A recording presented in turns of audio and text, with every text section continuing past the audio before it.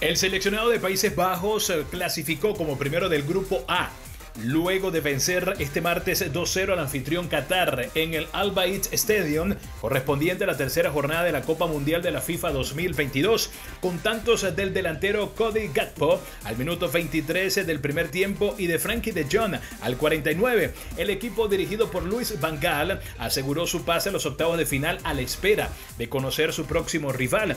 Por su parte, el combinado de Senegal logró un agónico ingreso a la siguiente fase del Mundial luego de vencer 2-1 a la selección de Ecuador en el Khalifa International Stadium de la ciudad de Doha. Este miércoles continuará la acción del evento futbolístico con cuatro partidos. Dinamarca y Australia se medirán en el estadio Al Janoub en un duelo directo por la clasificación en el grupo D.